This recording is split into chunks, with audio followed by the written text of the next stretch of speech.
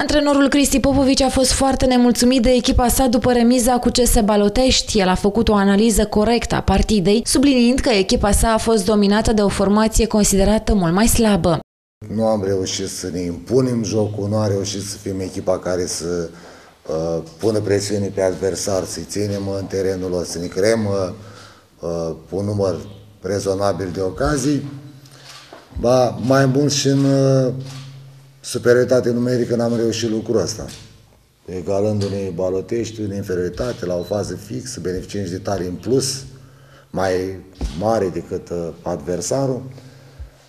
Și din nou, vechea poveste deja viu în care în ultimele minute primim uh, gol. Suntem egalați sau, după caz cum a fost la, la Săgeata, trebuie să ne recunoaștem uh, înfrânți. Jucătorii băcăoane au făcut antijoc odată văzuți la conducere. Trasul de timp este declarat în sfârșit după decenii inamic al fotbalului băcăoan. Rămâne însă ca intențiile să fie puse și în practică.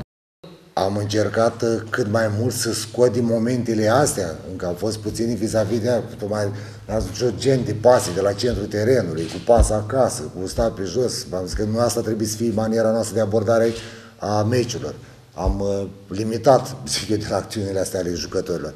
Pentru că e o echipă destul de tânără care trebuie să lupte din primul până ultimul minut, să joace de aceeași manieră, să-și dorească să ajungă la poarta adversarului, nu la un 1-0, să încerce să tragă de timp. Chiar asta le-am solicitat de la meciul cu Săgeata, începând că indiferent de cât e scorul, trebuie să joace de aceeași manieră. Nu că e 1-0 pentru mine, să joc, să trag de timp, să ai de aceeași manieră, pentru că odată implementată uh, ideea asta, atunci uh, dispar momentele astea neplăcute din punctul meu de vedere și pentru mine ca antrenor și pentru suporteri, pentru toată lumea când se încearcă trageri de timp. Repet, deci am fost împotriva la lucrul ăsta, am vorbit cu ei pe acest aspect. Încă încă să mai persist în treaba asta, eu sper cât mai repede să reușim să o scoatem din exprimarea noastră. După 1-1 cu CS Balotești, Sport Club Bacău a ajuns la un îngrijorător minus 3 în clasamentul adevărului. Echipa lui Cristi Popovici a adunat 6 puncte și o așteaptă o serie lungă de meciuri grele contra celor mai bune formații ale seriei.